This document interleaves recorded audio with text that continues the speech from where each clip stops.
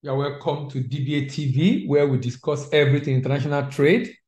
Uh, in this series, you are going to be learning about what each of the Nigerian states have to offer as far as export is concerned. You know, I have maintained that Nigerian states are billionaires in dollars and that they can be self-sufficient, but you know, because the number of governors comes in not the intention of generating income, but with the intention of sharing the money. Uh, but in this particular episode, we have put together series of video for all the Nigerian from Abia to Zamfara. And this will enable the new governors that are coming in or the new administration in different states of the country to be able to take a cue from what we've shared in this video, which by the way covers the peculiarity of each state apart from the preamble, it talks about the profile of the profit, or sorry, of the debt and income of the state. It talks about the potential of the state. It talks about the purchaser of the product the state have to offer, and of course the pro- pro- exportable product, and also the proposal we have for the state and how the state can directly profit from exporting raw materials, manufactured goods, uh, solid minerals, and agri commodity. I believe this will be of interest to you and maybe to your governor or to commissioner, whoever it is in your state. Thank you very much for joining. Enjoy your, uh, yourself as you learn through what maybe your state is what we're looking at today, what Nigerian state have to offer. Happy listening. Thank you very much. All right.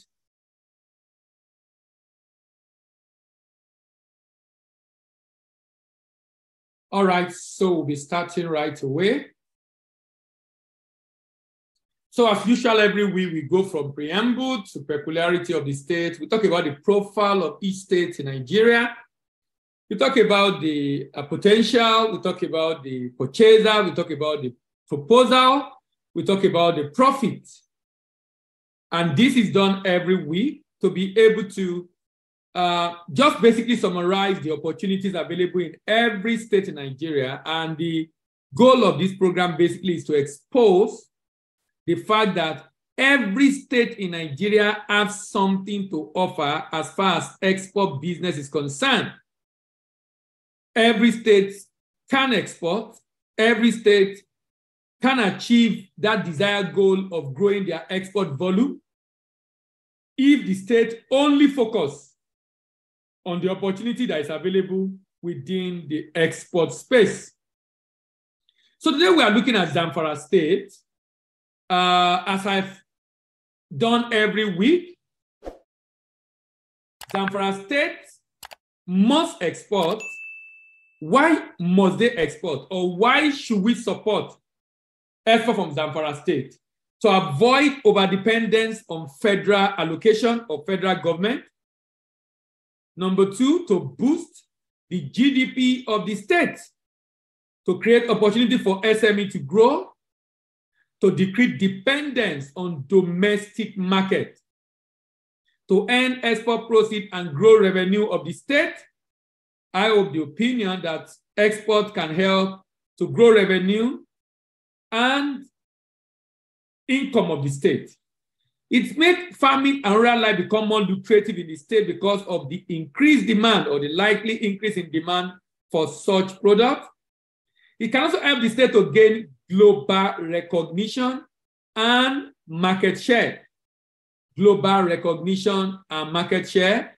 It can make the state to become home of creativity and innovation because if you play in the international market and you see the way your competitors are pack packaging their products, you see the level of quality of their product, and that will definitely affect in the export market. You are forced also to follow suit.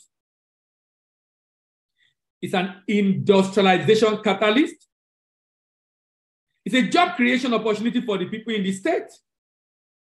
It can help the state to know the value of what the state has as competitive advantage. It can help the state to live for others to follow, make the state to be independent of federal government, and of course, there are numerous incentives available in export that the state can take advantage of. It creates opportunity for, us, uh, for indigenous of the state to maximize the um, indigenous of the state abroad, a huge opportunity actually.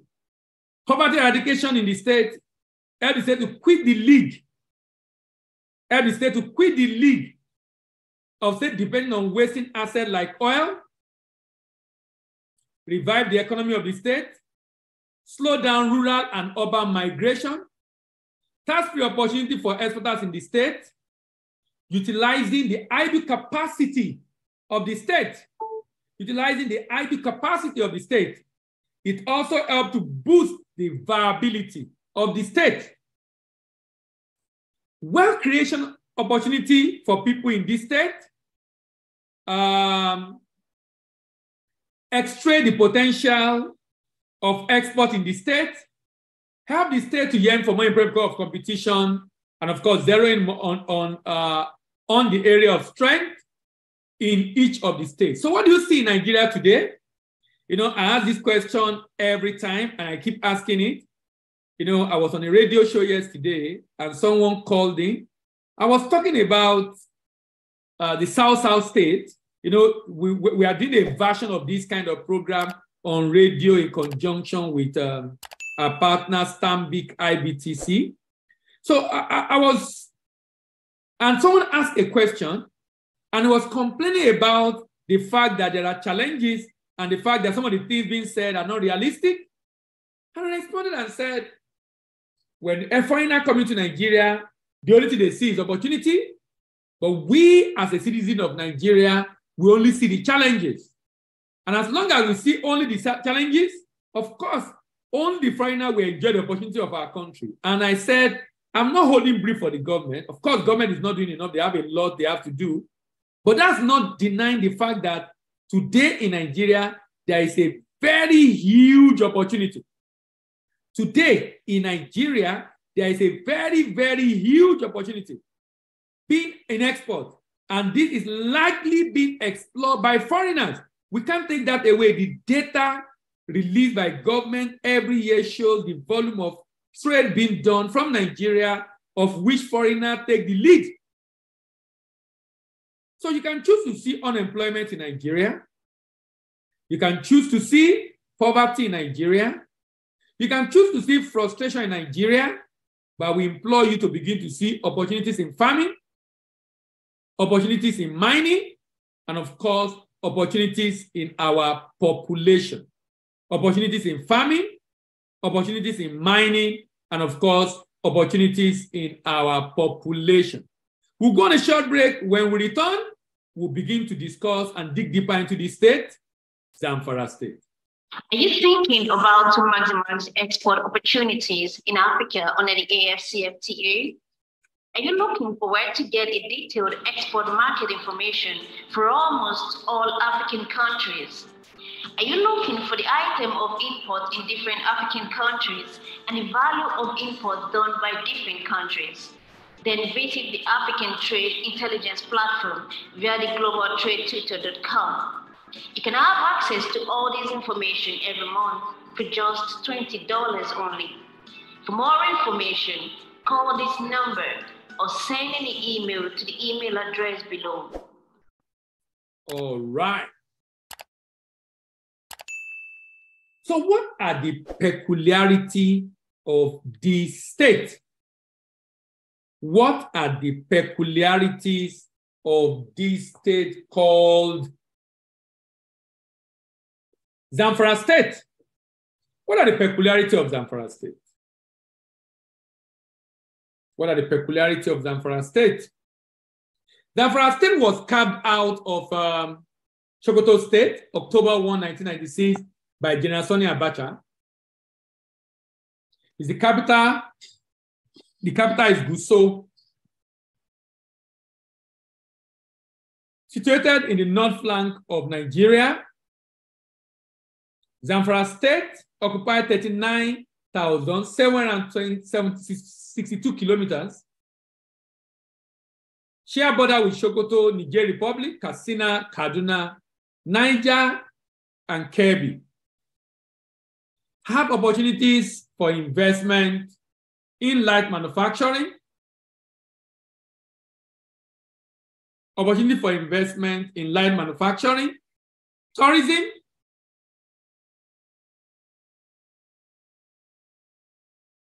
sorry. Light manufacturing, agri, healthcare, tourism, energy, and mining. Total land mass, I already stated this. This state has 14 local governments. Population is about 5 million people. So the population of Zamfara state is huge. Population of state is huge. 5.3 million people. So it's a state that is worthy of consideration uh, as far as export is concerned. Vegetation hot, semi-arid and tropical savanna. Major crops, millet, guinea corn, maize, rice, potato, wheat, tomato, granite, corn, uh, tobacco, beans. Solid minerals, iron, gold, copper, tantalite, and ma manganese. This state has the largest deposit of solid minerals, 30% of land cultivable. Season of Nigerian solid minerals is in Zamfara state, from iron, alluvial gold, clay, kaolin, chromate, granite, limestone quartz. Like I said earlier, there's opportunity for investment in livestock manufacturing rice, potato, wheat, tomato, poultry, beans, mineral exploration and processing. This state span two distinctive vegetative zones, Sudan, in the Sudan and northern Guinea savanna. And northern Guinea savanna. Working population of this state is 20, is um, 2 million, 2.5 million. Those not in labor force about 1 million people. By the way, this is at 2020, so you can imagine what it is today. So you can see the number right now. With a high level of unemployment. Look at the debt profile of the state. One hundred and one hundred and twelve billion naira. That's the debt profile of Zamfara state. You will notice something that the income of the state, for example, 12.96 billion naira IGR, 40.78 recurrent expenditure. That immediately tells you something. Zamfara state is incapable of meeting its own need. This state spends more than times three of its revenue. In recurrent, I'm not talking about capital, recurring. That tells you also the fact that this state cannot survive without federal allocation. This state cannot survive without federal allocation. According to budget, Nigerian state calls Zamfara state is estimated to be 5.13 million people. In 2020, has a budget of 127 billion, called Budget of Peace and Renewal. The sum of 58.2 was allocated for recurrent and 69 allocated for capital. However, the state extended spending, spending up, uh, extended up spending 47 billion on recurrent expenditure and 41 on capital.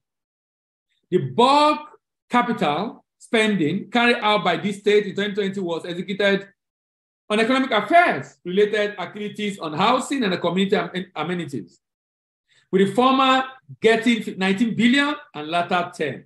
Interestingly, the state executed a capital spending of 1.5 on recreation, that's culture, while critical social sector like health and education could only assess, can you imagine, 4% and 1.6%. So obviously, the state is not really taking education and health very seriously. Although having earned a total recurrent revenue of 59.9, Zamfara exceeded its 2020 projection by 59.84, of 59.84 by 0.15%. Owing to oil price, oil price, I mean, oil price induced reduction in accrual to the Federation account in 2020, the state received a statutory allocation, statutory allocation of 38.82 billion. Conversely, Zamfara Greece IGR by 11% from 5.94 to 6.6. Zamfara had one of the highest year-on-year increase in its total debt as its debt profile rose by 29.76%. The state exceeded the budget, the debt servicing limit as stipulated in its budget 2020, while it budgeted 3.71 for repayment, he ended up spending 9.71. Similarly, having spent 7.98 on repayment of interest on internal loan, it exceeded the budget of 3.71. Now, you notice something about Zamfara State. This state did a lot of borrowing, a lot of income coming in at spent on recurrent. We can infer safely that this state really have a challenge with its um, finances. But the goal of this program, which we've done now for about 40, 40 months, 40 months, sorry, 40 weeks, is that Nigerian state has all it takes. Nigerian state has all it takes for each of them to be independent of the federal government allocation. Congratulations, your search for buyers abroad is over, through the help of the Eureka Pack. The Eureka Pack helps you do 7 things in order to get buyers abroad. It shows you how to 1. Get prepared to get buyers abroad. 2. Get the online tools to deploy to get buyers abroad. 3. Get list of markets with demands for your products. 4. Get the list of importers in that market. 5. Get the contacts of importers in that market. 6. Get the export contracts from the contact details of the importers. 7. Get favorable export contract terms. The Eureka Pack shows you how to enter the billion dollar markets available for your products across the world at a very discounted rate of 60,000 naira. The valuable materials that you get upon purchase include two manuals and 27 videos explaining and demonstrating how to use the manuals to find buyers abroad. We know you are elated already and interested in ordering for the Eureka Pack right away. Place your order via a WhatsApp chat to 0809 999 3142 or email to info at 3timpex.com. You can get this pack for just 60,000 naira. Grab your copy now. So, what are the potential opportunities that reside in Zamfara State? The state is basically agricultural state with over 80% of the people engaged in various forms of agriculture.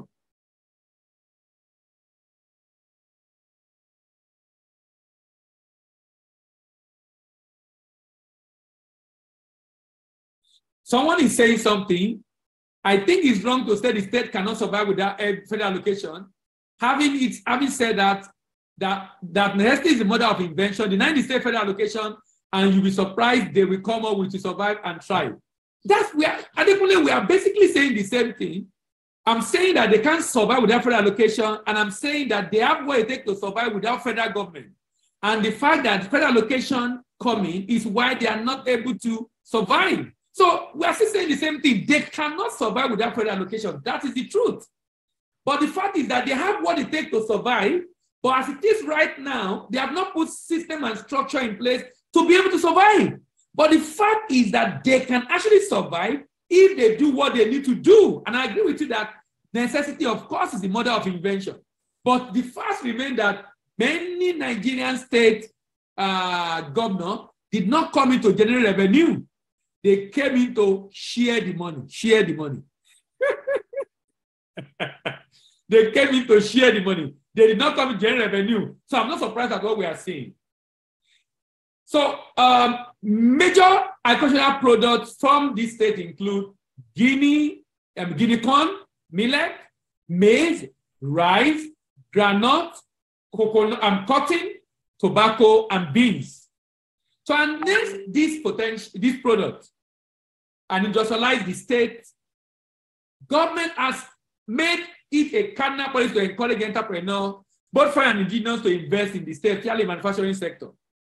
Industrial concern exists in the state, and this include modern bakery in Gusau, Gusau oil mill, which is the fourth vegetation vegetable oil mill in Nigeria to extract oil from cotton seed, Zamfara textile industry, Gusau and Gusau, uh, Gusau seed factory, and cotton ginnery at Gusau. The people of Zamfara state also are engaged in weaving and turning of local dye um, and design material and other woven products.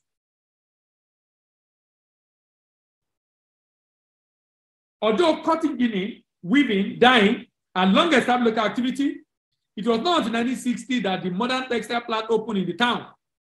A seed oil mill and soybeans oil processing plant were also built.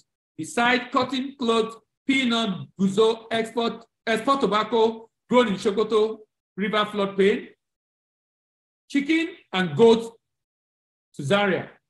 Now, this state, from all indication, have what it takes.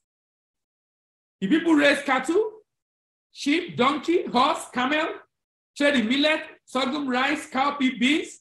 This state can produce cotton. They can export cotton and they can use cotton to generate income.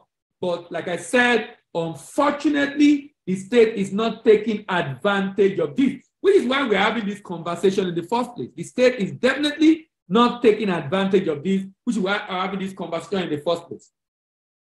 So let's look at the purchaser of those products that Zamfara State is capable of producing, but more importantly,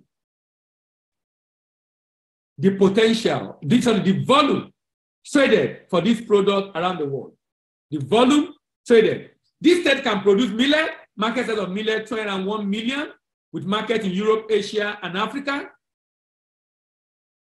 The state produced granite, market size of granite 3.19 billion, with market in Europe, in America, North America, even in Africa, and of course in Asia, China, Vietnam, Indonesia. In Africa, Algeria, South Africa, Tanzania, Libya, Kenya, and Rwanda. The state produced cotton. Market size of cotton, 15.4 billion. China, Vietnam, Bangladesh, Indian cotton, Indonesia, Turkey are the major markets with Mexico and Egypt. In Africa, Egypt, Mauritius, South Africa, Morocco, Algeria, Tunisia are major importer of raw cotton.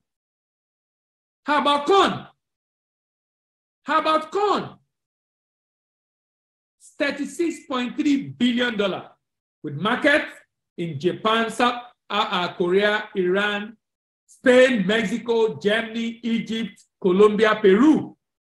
And in Africa, 3.73 billion, Egypt, Algeria, Morocco, Tunisia, South Africa. Tobacco. This state also produced tobacco, 10.787 billion. Tobacco, 10.7 billion. Belgium, Russia, Germany, Poland, Indonesia, China, United States, Dominican Republic, Mexico, in Africa, almost a billion dollars. Egypt, Cote d'Ivoire, South Africa, Mozambique, Kenya, Malawi. Nigeria is importing raw tobacco, even though Nigeria is capable of producing this raw tobacco. Then we have wheat and rice. Look at wheat. Nigeria spent a billion dollars to import wheat. 44.1 billion. Indonesia, Turkey, Japan, China, Egypt, Algeria, Brazil, Morocco, Sudan, Italy, Netherlands, Belgium, Mexico are the major markets for wheat. In Africa, can you see the wheat import in Africa? 12.5. Wheat, wheat export in the world, 44. Africa is doing more than 25%, $12.5 billion. And you can see Nigeria doing a significant part of that. A significant part of that. Egypt, Algeria, Morocco, Sudan are major markets. Then rice. Iran, China, Japan, United States, France, Germany, Italy $24.7 billion. In Africa, Benin Republic is the largest importer of rice in Africa. But you and I know that rice from Benin Republic come to Nigeria because Benin is not up to Lagos population. Cote d'Ivoire, South Africa, Senegal, Cameroon, Ghana, Mozambique. So what is the proposal we have for this state, Zamfara state? If you look at this value chain of agri, production, harvesting and transport, primary processing, storage, secondary processing, packaging, marketing and sales, logistics, export and distribution. In Nigeria, you typically have the same SME involved from beginning to the end. I know a particular woman who is involved from production to export. Of course, I've told her she has to stop that because it's inefficient, but that's what happened in Nigeria. It's creating efficient value chain operator, low process capacity and low output, few job creation, low quality and packaging, high cost of production, non-competitive product in the export market. Now, imagine the state government says for uh, maybe cotton, to produce cotton seed, cotton seed oil, I buy my cotton from SME1 as SME2. There's a large processing plant of government with PPP arrangement where I can take my raw material to, to process when I buy from SME1. As an SME2, I focus only on marketing, sales, logistics, export, and distribution. This creates efficient value chain operators, high price capacity and, and output, good quality packaging, low cost of production, uh, competitive products in the export market, increased job creation. When you increase job creation, you reduce inequality, and of course, you reduce insecurity. In order to support exporters in Zamfara state to enter the export market in Africa, Europe, and America in a secure and sustainable way, the state can partner with representative at destination to secure contract, set up warehouse for pickup by wholesaler at destination, set up an entity, a distributor at destination, partner with individual, independent agents of display at destination, and organize or sponsor manufacturer for exhibition in the export market. How can Zamfara State profit directly and make money directly from export? Look at it.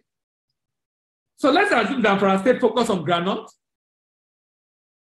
it has 1.5 million hectares of arable land, 1.5 million hectares of arable land.